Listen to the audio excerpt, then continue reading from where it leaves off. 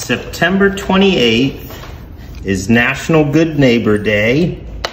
And here in Old Sacramento, we are next door neighbors of the California State Railroad Museum. There's also a wide variety of shops and historic buildings when you visit Old Sacramento, and we support all the businesses here in the historic district.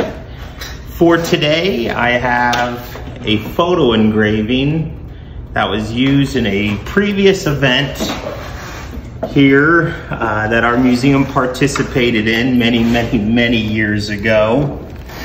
This photo engraving includes the Pony Express Monument at 2nd and J Streets. We have an old locomotive and some of the historic buildings you would see on 2nd Street.